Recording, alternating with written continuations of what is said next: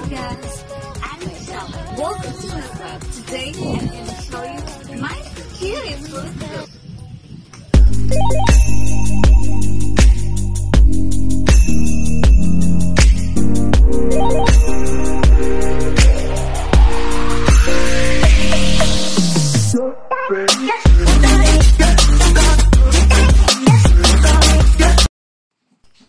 I love watching baseball on TV. When I was in high school, I had the opportunity to play baseball.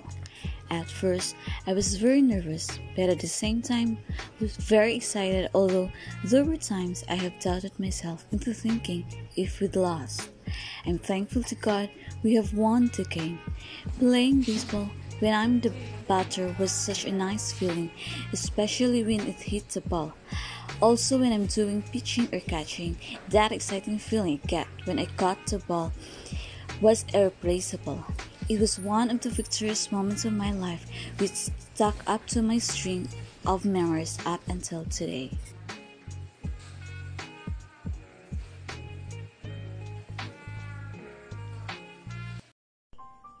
In our life, just like baseball, all the important things happens at home.